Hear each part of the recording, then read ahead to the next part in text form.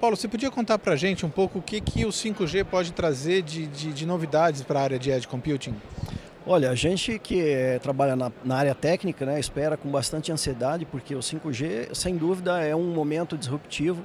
Então, logo a gente tenha disponibilizado e conforme for crescendo a implementação do, do 5G em si, a gente vai ter muita oportunidade de serviços e de soluções que até então a gente tem alguma dificuldade, é, como, por exemplo, endereçar todo um poder computacional do IoT, é, levantamento de dados. E o Edge Computing vai acompanhar essa, essa onda, né, vamos dizer assim, porque vamos levar o processamento e armazenamento mais próximo do dado, onde ele é gerado e onde ele é consumido.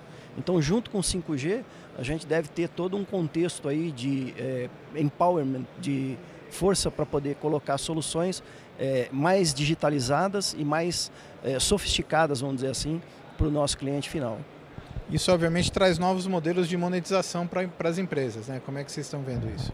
Sim, a monetização ela vem em função dos experimentos, né? A gente costuma dizer que o ideal é pensar em qual é a solução de negócio que eu quero levar.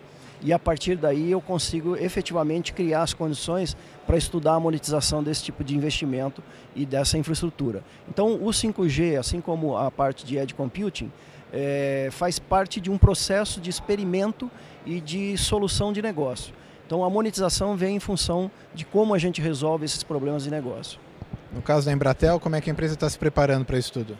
A gente tem investimento em, em, vários sites, né? vamos começar com três, a ideia é chegar a 16 sites que vão ter o Edge Computing implementado e vamos começar a experimentar essas, essa infraestrutura é, explorando todo o potencial de serviços e de, de soluções de negócio que a gente pode aplicar com essa colocalização, levando um modelo de mais baixa latência para o nosso cliente final, com um processamento mais próximo da onde o dado é produzido.